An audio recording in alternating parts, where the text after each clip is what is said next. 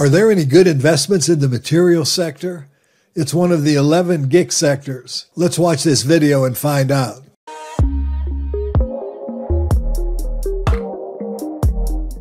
Hello, everybody. This is Chuck Carnevale, co-founder of FastGraphs, the fundamentals analyzer software tool, aka Mr. Valuation. You know, this is part nine of my 11 part series where I cover each of the sectors. And I want to first, before I go any further, I want to wish everybody a happy and all these in, the investors that are you know subscribers to the channel a happy and most importantly a profitable and prosperous 2024. Let's look at the material sector and let me start by showing you how I screened through this sector. I want to talk about screening a little bit here because I think a lot of people have misunderstood what I've been trying to accomplish. One of the main things I was trying to do with this series of articles is show everybody just how different stocks can be in the various sectors and how it truly is a market of stocks and not a stock market. So rather than thinking about, you know, generally, we should always be thinking about the investments that we choose. And like I like to say, mind your own businesses. But another thing about screening, there's so many ways you can screen, especially with the FastGraphs powerful screening tool. But I tried to do really simple screens here. So under the general section, I want you to note I had six items that I screened for. I screened, of course, for the material sector. I wanted to see primary stocks. I wanted to see a positive dividend yield, the earnings yield of 6% or higher, and that would indicate a PE ratio around 15. And then I wanted a moderate persistency score of above 60%.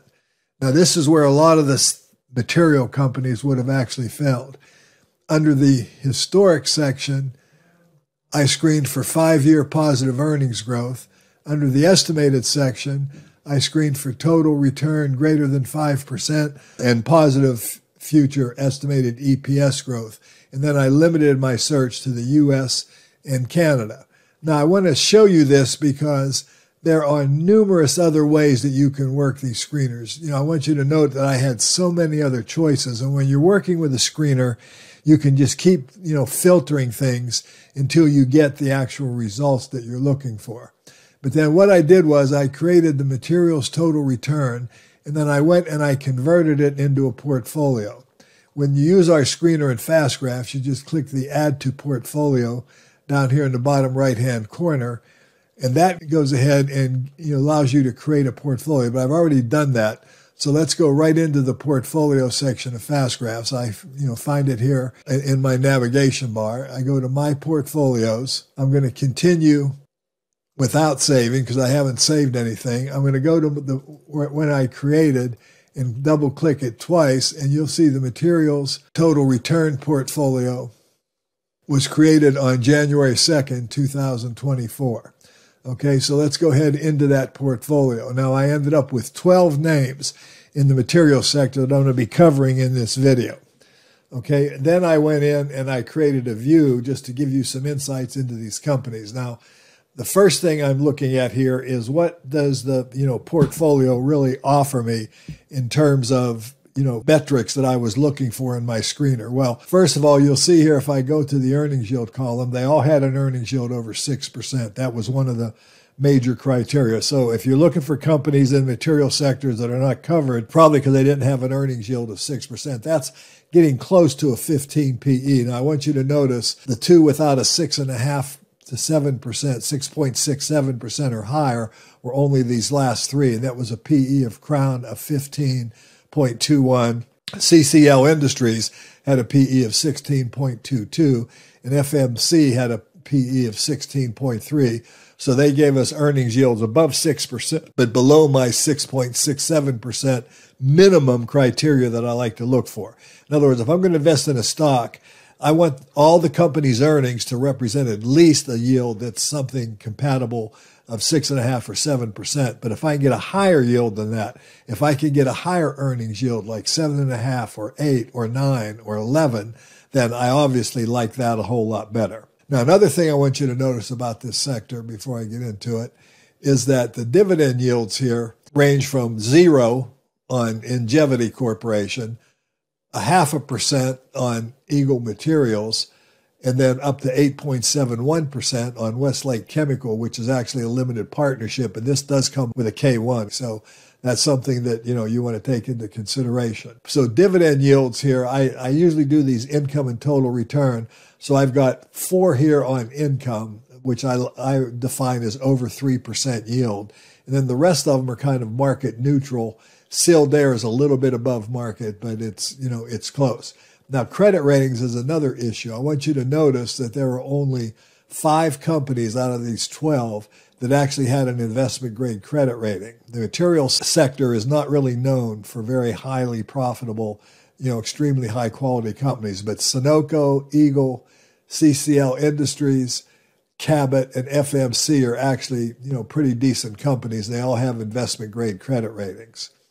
All right, but we'll go through these, you know, one at a time. Now I'm going to do these in alphabetical order because that's the easiest way for me to go through this you know, for you and, and basically um, give you a free flowing video. So let's start with Berry Global Company and let's look at the company. Now, the FastGraphs Fundamental Analyzer software tool, FAST, is a tool to think with. I say this many, many times. I want people to understand that you have to analyze with this tool.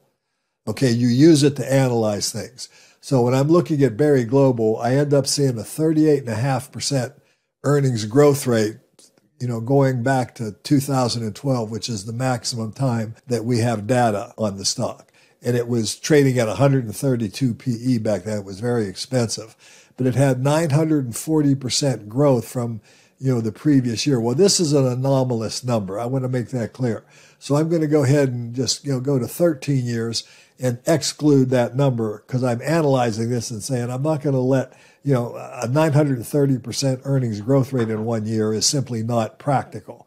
Okay, so I eliminate it. Now I've got earnings growth rates. I want you to note 26%, 32, 46, 21, 10. Then I had a real flat year where we only had 1% growth. And this company has a September fiscal year. So that was September of 2019. Coming into COVID, they actually did very, very well by the way. Their earnings grew by 42%. You can see that surge, and this is the COVID pandemic period here. Then it was 20%, 28, and then 0, 3, 12, and 12. Now, the fact that earnings growth varies significantly is something that you should always be taken into consideration. Now, since the growth rate was 18.67%, and since that growth rate is above 15%, FastGraphs automatically goes to the Peter Lynch formula, PE equals growth rate. And some people call this a PEG ratio of one. Okay, so this orange line is a PE of 18.67 on this graph over this time frame. If I shorten that graph to 10 years, I want you to notice now that the growth rate is only 14%, still very high, but only 14%. And now the Graham Dodd, that the dot, dot PE equals growth rate or extrapolated formula between the Graham Dodd formula for slow growing companies and the P equals growth rate for very fast growing companies. That's companies growing between 5% to 15% uses this formula, and that implies a 15 PE ratio as a valuation reference. Now, again, this is an analytical tool. What evaluation reference mean is I'm looking at this graph. I know that that's a 15 PE, and I do see that the stock traded really, you know, right around that 15 PE for 2019 fiscal years 2018 and 19 and 2017 it actually traded at you know typically at a higher PE ratio than 15 then we came into the COVID and we had the drop in price, and since then it's been trading at a lower PE. And so for this time frame, the average market value PE ratio was 12. But again, that creates a valuation reference line. It's not a fact, it's a line that you analyze with. So now I look at this graph and I see the first three years here or so, I see the PE was above 12. Then for another couple of years, it was below 12 a lot but it was also, you know, hovering around 12 quite often. And then since December of 2021, it's been trading at a much lower PE. So if I draw this as a four year graph, for example, and include estimates, now the average market value multiple has only been seven. So if I go to a seven year graph that includes the estimate data, I get about a 9.6 valuation. Now, what do I do with these lines? I look at this line and I say, okay, this is 9.6 times earnings. You know, if I'm buying Berry Global in the more recent time frame, I really don't want to pay more than around 10 times earnings for it. The current PE is 9, 9.03 blended PE. That gives us a very high earnings yield of 11%. But now I've got to focus on forecasting. So I go into my navigation bar and I go into the forecasting calculator and I see that 12 analysts expect this company to grow at about 9.65%. Now I'm going to analyze this section a little bit too before I make a decision if that's a 9.6 PE, and if I go to the normal multiple for the last five years, it's been around 10, as I kind of alluded to. So 10 is a fair value multiple. This would indicate that the stock is slightly undervalued and it's expected to grow at 9.65%, pay a very modest dividend of about 1.6. So I would expect to make double digit returns if this stock did trade at a 10 multiple and it did meet these earnings achievements, and I just point to this triangle, I could make 15.38% per annum. If we go into the 15 multiple that a 9% growth rate would theoretically indicate, your upside could be like a 32% annualized rate of return. So the company looks very attractive from a valuation point of view. But I also want you to note by analyzing this estimate you know, calculator here that analysts, you know, estimates have been dropping on this company in recent times. In 2023, it dropped, you know, to the 7.29, but then it came in at 7.42. For this year, which again ends in September, it started out, analysts six months ago were expecting $8.30. Then they dropped it to 802 and then they dropped it to 761 which is where the current estimate sits. And again, this is for September fiscal year ending September of 2024. And likewise, they were expecting more earnings growth six months ago, a higher earnings number than they are now, but they are expecting a 12% growth over a 2.5% growth expected for this fiscal year that we're in. We're actually in 2024's fiscal year. You know, we only got three quarters left technically. And the bottom line is, you know, estimates are around 761. And right now, till now, they're holding, but that's only a 2.5% growth rate. But then for 2025, even though the estimates have fallen from 915, 870 to 855, which is where they're sitting currently, that would be a 12% growth rate and a 12% growth rate going forward. The long term growth expectation is for 15% growth. So analysts are expecting, and there's only two analysts giving us a long term forecast. Analysts are expecting after this year, future years to be very attractive, you know, in terms of growth rates. Now, when I look at the analyst scorecard, which is very important, I discover that on a one year forecast with a 10% margin of error, I want to emphasize that, analysts have been really pretty accurate. They've only missed estimates 10% of the time. They beat estimates 60% of the time and hit them another 30. On the two year, with a 20% margin of error, because it's further out, they actually beat estimates a third of the time and met estimates within that margin of error two thirds of the time. So the estimate data here might be reasonably accurate. Now, you know, another thing that I wanted to point out when I go back into the portfolios here that I didn't mention is that the sub industry is also interesting. Material sectors is things like metal and glass and plastic containers, paper and plastic packaging, chemicals, paper and materials, again, specialty chemicals, diversified chemicals, metal, glass, and plastic containers, commodity chemicals, construction materials with under Eagle Materials, metal, glass, and plastic, fertilizer, and agricultural products with FMC. So I want you to note that, you know, this sector does have a pretty diverse subsector, but they're all in materials, things that aren't highly profitable, at least from a historical point of view. Now, going into that, if I look at, you know, the maximum graph of Berry Global, it's been a pretty consistent grower. Different rates some cyclicality in the growth rate, but it's been pretty much an upward mobility. Now, that's not necessarily common for this sector. So let's go to the next one. Let's go to Cabot Corporation. This is commodity chemicals. Now, remember, as a FastGraph subscriber, you can just go to the external links and go right into the company's website and it will, you know, give you all of the information about what the business does. You know, they've got adhesive and sealants. They're they're heavily involved with, you know, batteries. They create materials that improve battery life, consumer rubber products, coatings, paints, and so on, construction, and so on. So you can learn a little bit about the company and spend a lot of time on their website. But let's look at the characteristics now of this company compared to Berry Global. First of all, we got 6.77% growth. That would indicate a PE of 15.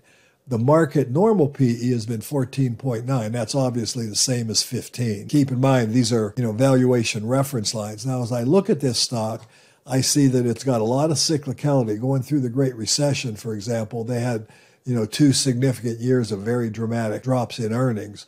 And of course, the stock looked, you know, trading at a 23 multiple in June of 07 you know, we saw this precipitous drop in value here. You know, it was almost an 80% drop from sort of peak to trough during the Great Recession, but then it recovered very dramatically. The next couple of years coming out of that, we saw a you know 450% growth as the earnings recovered by over a thousand percent. They went from 16 cents to three dollars and four cents. All right, so you know, and then we had kind of flat earnings growth, and notice that the stock price kind of tracked that flatly. Then COVID came in, we had another precipitous drop, in earnings, and of course the price dropped, and the price has been recovering. But during fiscal year 2023, and again we have a September fiscal year here, we saw rather you know some pretty strong weakness in the stock price for most of the year. But then going into you know expectations for faster growth going forward. This stock does offer a 1.9% dividend yield. It does offer a 6.8%. It's trading at under a 15 PE. It is an investment grade company. It's triple B rated with 44% debt. And you know, from a standpoint of forecasting, analysts are expecting double digit growth. In this case, we see the same pattern. You know, earnings growth expectations have been you know tempered, but they did start to recover from three months ago to six months ago, and now you know for 2025 they're expecting 742, and we see the same situation or a similar situation in 2024 where we're expecting about a 22% growth rate, followed by 12, followed by 10. The long-term growth rate of this company is not given. Okay, so you know we're dealing with a rather cyclical company here, and when you look at the long-term historical picture, you can really see that cyclicality. It's hard to make a case to buy and hold a stock like this. It does have a very good dividend record, but it does go through periods of time where it freezes the dividend for years on years at a time. And it's, you know, frozen the dividend numerous times. Now, based on near term forecasts, it looked like it could be an attractive buy today.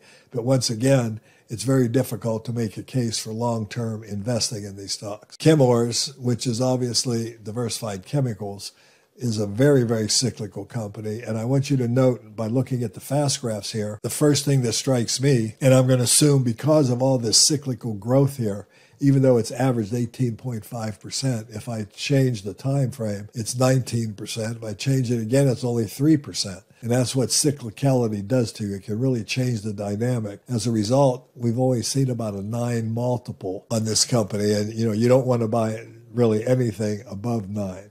And right now, you could argue on that basis that it's slightly overvalued, even though it does have a decent earnings yield and it does offer a 3.17% dividend yield, but they've, you know, kept the dividend flat now for several years. That's there's so you're not really looking at dividend growth, but you are looking at current yield. From a forecasting point of view, we are expecting good years ahead for the next couple of years. Long term, once again, there's no long-term growth being given. And again, with when we look at you know the analyst scorecard on this company, it does have periods where it's beat estimates and, and net estimates quite a bit but it also has, you know, a pretty strong record 33% miss and a 29% miss on one and two years. So, you know, very, very difficult to make a long term investment decision here.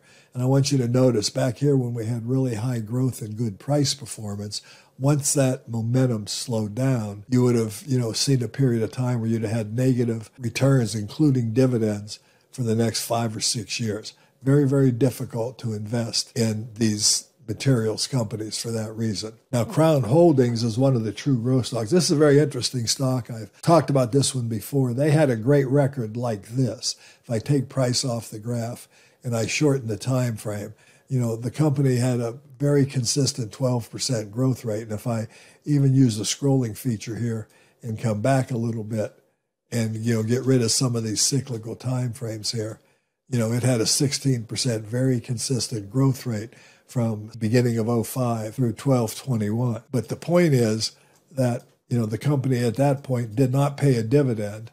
It was strictly a growth stock. Now, this stock was coming out of bankruptcy, interestingly enough. This is the one Crown Cork made an acquisition that had an asbestos division. They sold it within 90 days, within the first quarter that they actually owned this acquisition.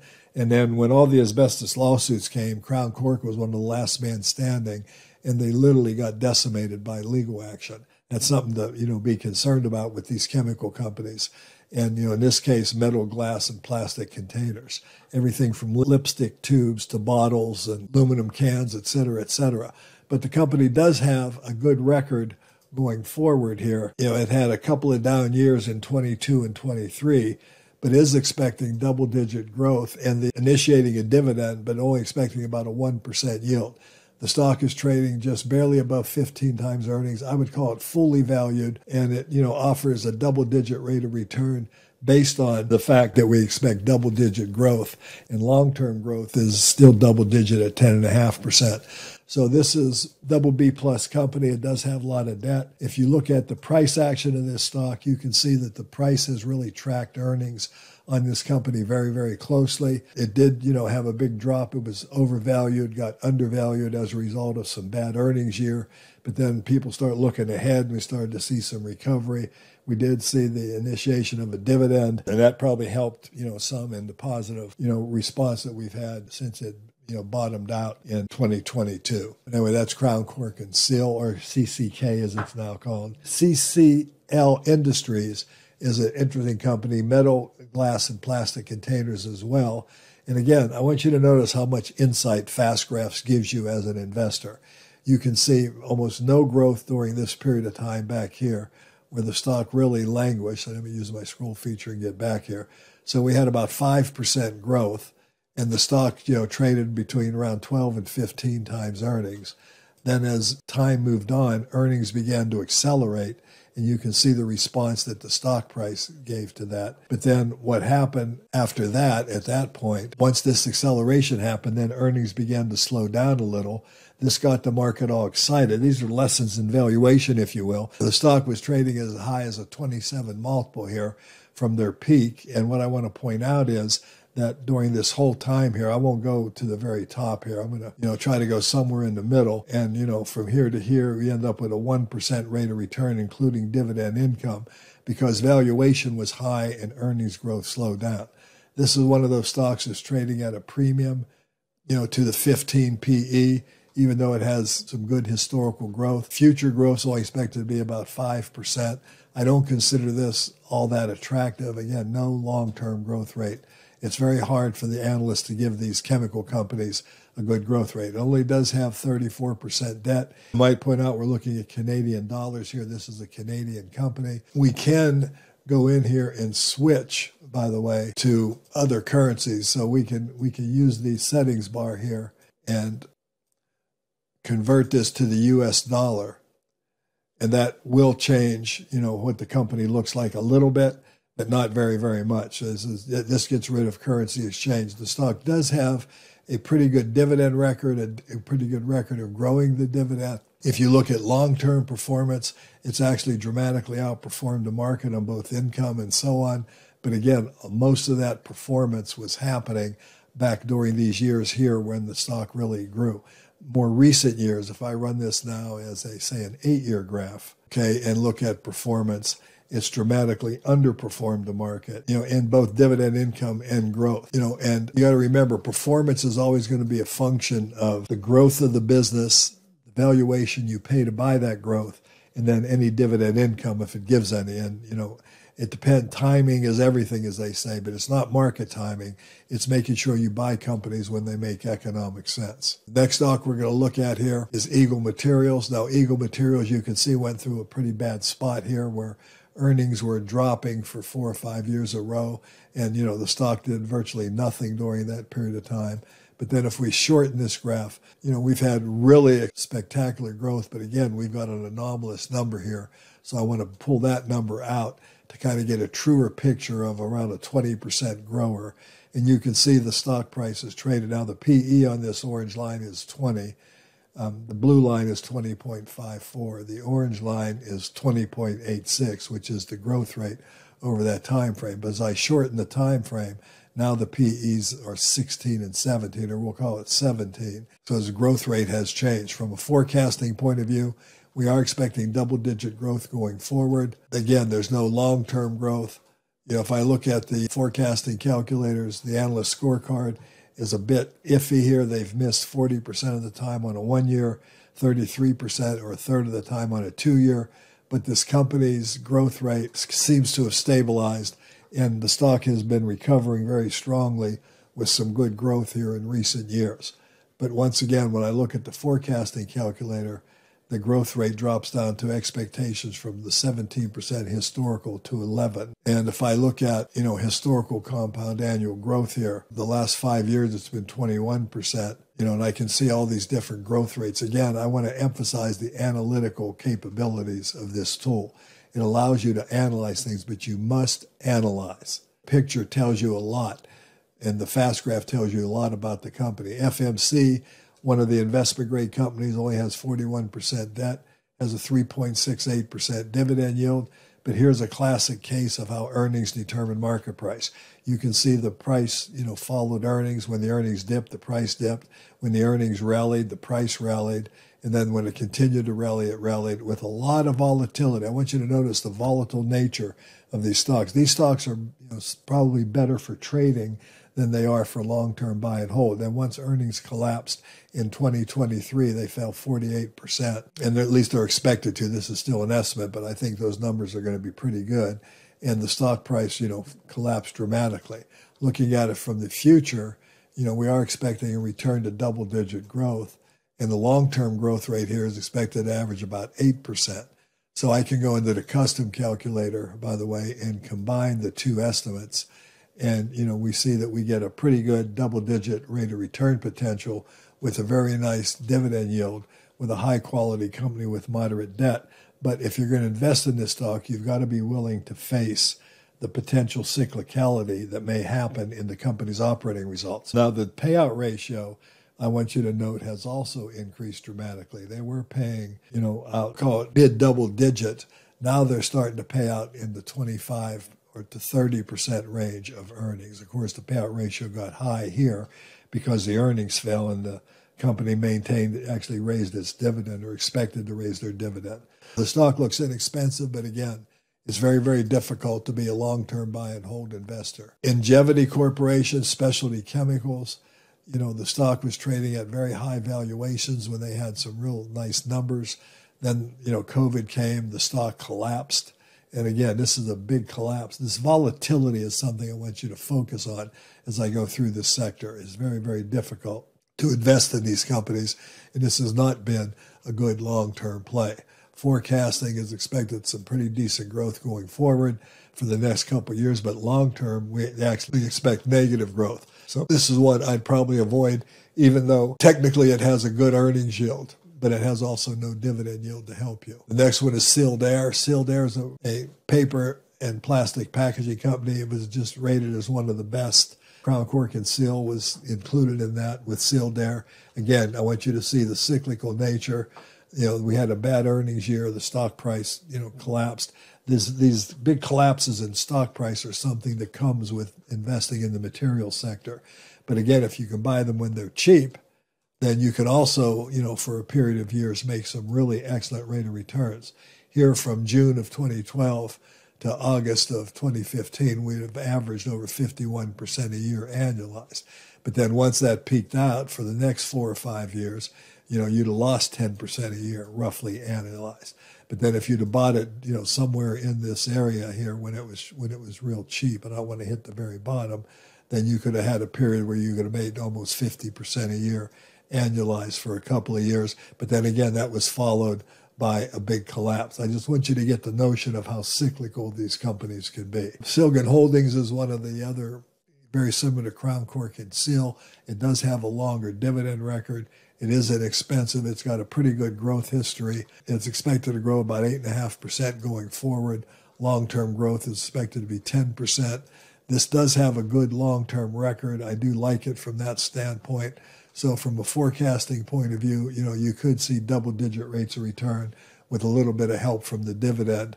And if you look at the normal multiple of only 13 times earnings, you would still expect to make 8%. But I do want to point out that looking at this stock, you know, the 8% is kind of an anomaly. It's normally been a 15 multiple company. Sonoco Products, again, is kind of a, a slower growing company. It's got very undervalued here in, you know, because of the downtrend in earnings in 2023. Going to the future, it's expected only grow at around 3.5% and long-term growth only at 4%. So I don't consider this one especially attractive other than the dividend yield of 3.6%. It is investment grade, triple B rated, and you know it could be attractive from that standpoint. Then last but not least is Westlake Chemical. I'm glad it was a W because I did want to cover this one last. This is a limited partnership. It's primarily a high yield investment. You can see 8.7% dividend yield. Operating cash flow has generally covered the dividend. Free cash flow has also generally covered the dividend. But again, this comes with a K1, and you know that causes some people some problems. But this has been primarily a income vehicle. Now I'm going to get this down to where it was tracking earnings you know, so we can look at performance here from a good valuation point of view. It underperformed the market dramatically on a capital, actually depreciation basis. But again, it almost tripled the dividend of the market. So this would be the type of stock you would put in and mix in with the portfolio if you're looking for income. Anyway, this has been Chuck Carnevale, co-founder of FastGraphs, the fundamentals analyzer software tool. I'm looking at part nine of my 11 part series on the material sector. I hope you enjoyed the video. If you did, give me a like, ring the bell, and of course, subscribe to the channel, but also take a look at subscribing to FastGraphs. It gives you so much insight into the type of stocks that you could be considering investing in beyond any other tool that I know of. And I, you know, of course, I invented it, but that's why I invented it, so I could get some greater insights into the stocks. Thanks for watching. Again, Happy New Year and a prosperous New Year to all. Talk to you with part 10 coming up soon.